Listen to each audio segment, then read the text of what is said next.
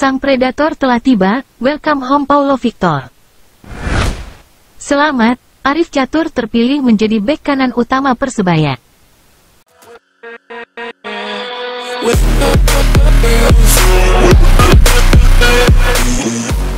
Sports right now? Enjoy your day. Sang Predator telah tiba, welcome home Paulo Victor.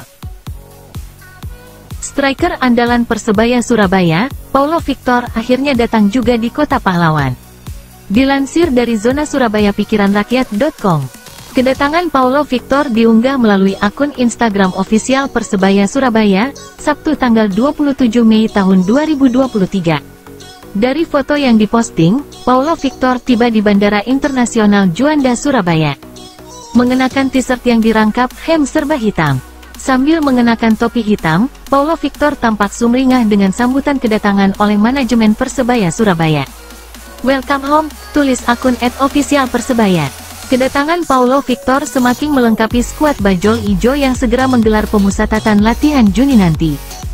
Victor melengkapi barisan depan Persebaya, yang baru saja mendatangkan Wildan Ramdhani, dan Ferdinand Sinaga. Secara statistik, Paulo Victor sudah membuktikannya sebagai striker house goal pada musim lalu dengan mencetak 7 gol dan 2 assist dari 15 penampilannya bersama Persebaya Surabaya. Selamat, Arif Catur terpilih menjadi bek kanan utama Persebaya. Pada musim depan, Persebaya Surabaya bakal mempercayakan posisi bek kanan kepada Arif Catur Pamungkas.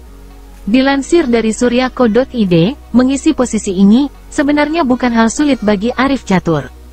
Sebab, pada akhir musim Liga 1 2023, dia pernah mengisi posisi serupa. Mengenai posisi tersebut, Arif Catur mengaku bersyukur lantaran mendapat kepercayaan dari pelatih Aji Santoso.